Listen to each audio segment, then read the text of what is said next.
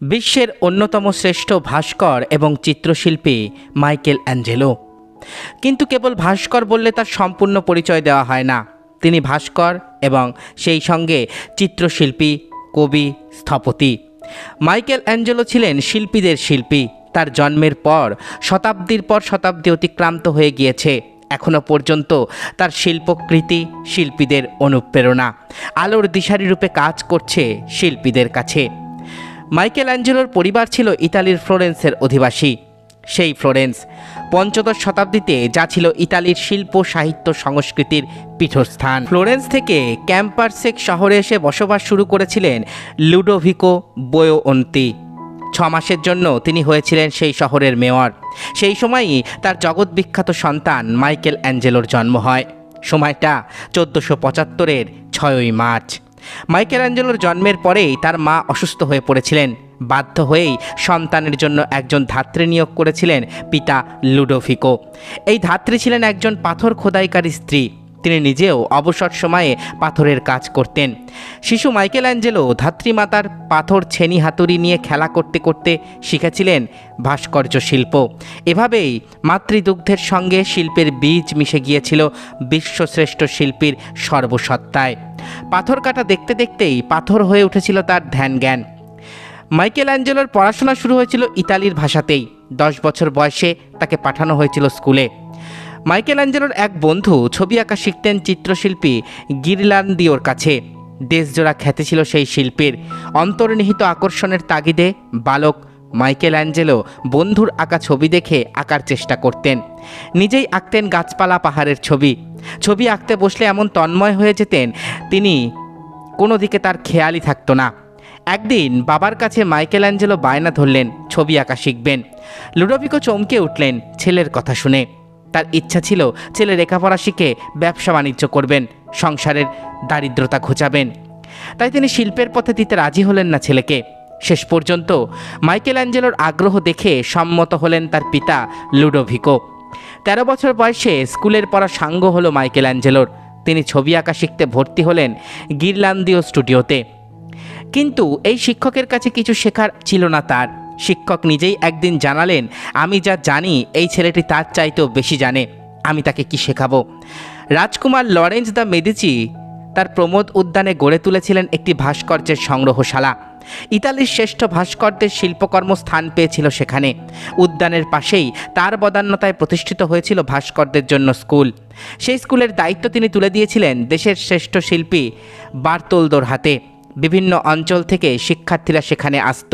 একদিন Michael Angelo ঘুরতে ঘুরতে মেদিচির রাজপ্রাসাদের উদ্যানের কাছে এসে থমকে দাঁড়ান। পাথর খুঁড়ে খুঁড়ে সারি সারি মূর্তি সাজানো হয়েছে, কিন্তু দেখে মনে হয় যেন রক্ত মাংসের জীবন্ত মূর্তি। তন্ময় হয়ে তাকিয়ে থাকেন মাইকেল অ্যাঞ্জেলো। চোদ্দোশো উননব্বইয়ে মাইকেল অ্যাঞ্জেলো ভর্তি হন মেদিচির সেই স্কুলে। এখানেই অক্লান্ত শ্রমের মধ্য দিয়ে চোদ্দোশো বিরানব্বই পর্যন্ত চলে তার ভাস্কর্য শিল্পী হিসেবে শিক্ষানবিশী। শিল্পের একনিষ্ঠ সাধকে রূপান্তরিত হলেন মাইকেল অ্যাঞ্জেলো। শিল্পী মাইকেল অ্যাঞ্জেলো প্লেটোর মানবতাবাদী ধারায় পড়াশোনা করেছেন। পাশ্চাত্য রেনেসাসের অন্যতম পুরোধা ছিলেন মাইকেল অ্যাঞ্জেলো। ভাস্কর্য চিত্রকলা, স্থাপত্য শিল্পকলার এই ত্রয়ী ক্ষেত্রেই অবিসংবাদিতভাবে কৃতি হয়েছিলেন তিনি। চিত্রকলা এবং ভাস্কর্যে মাইকেল অ্যাঞ্জেলোর মানবতাবাদী দর্শন স্নাত যে শিল্পসত্তাকে আমরা পাই, কবিতায় তার সঙ্গে যুক্ত হয়েছে আরও বেশ কিছু। কবির অন্তরতম অনুভূতির বহিঃপ্রকাশ ঘটেছে এতে। পৃথিবীর শ্রেষ্ঠতম তিনটি ভাস্কর্য, তিনটি সৃষ্টি করেছেন মাইকেল অ্যাঞ্জেলো। এই তিনটি হলো ডেভিড মোজেস এবং পিয়েতা। এর মধ্যে ডেভিডের মূর্তির খ্যাতি অবশ্য বেশি, কিন্তু শিল্পবোদ্ধাদের কাছে পিয়েতার গুরুত্বও কম নয়। আসলে, এই মূর্তি তিনটি দেখলে মনে হবে বিধাতা স্বর্গলোক থেকে যেন মাইকেল অ্যাঞ্জেলোকে এই ধরাধামে পাঠিয়েছেন। অন্য ভাস্কর শিল্পীদের এই শিল্পকর্ম কেমন করে তৈরি করতে হবে সে বিষয়ে শিক্ষা দেওয়ার জন্য। শিল্পী জর্জিও ভাসারি অন্য শিল্পীদের সম্পর্কে বৃহৎ আকারের একখানা বই লিখে গেছেন। ওই বইয়ে মাইকেল অ্যাঞ্জেলো সম্পর্কে এমন কথাই লিখে গেছেন তিনি। তিনি মাত্র সতেরো বছর বয়সে মার্বেলের ওপর খোদাই করে ম্যাডোনা অব দ্য স্টেপস ভাস্কর্য তৈরি করেন। ইতালীয় যুগের ভাস্কর্য শিল্পের অনবদ্য নিদর্শন ভ্যাটিকান শহরের ব্যাসিলিকা গির্জায় যে পিয়েতা ভাস্কর্য রয়েছে, সেটিও তৈরি করেছিলেন মাইকেল অ্যাঞ্জেলো। তার অন্যান্য গুরুত্বপূর্ণ কাজের মধ্যে রয়েছে the last judgment, Madonna and child, তন্ড, David, বিভিন্ন ধরনের পুরুষের প্রতিকৃতি এবং ফিগার কম্পোজিশন।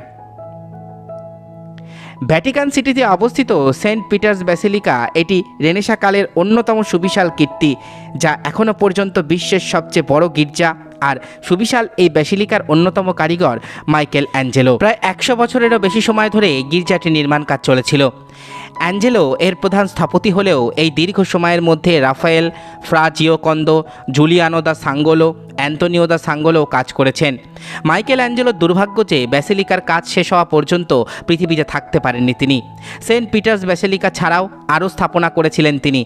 মেদিচি ফ্যামিলির Laurentian library, Palazzo de Conservatori, place of the holy office, Palazzo Senatorio ইত্যাদি বিশাল বিশাল সব স্থাপনা যা আজও আপন আপন সৌন্দর্য বিস্তার করে সগর্বে দাঁড়িয়ে আছে।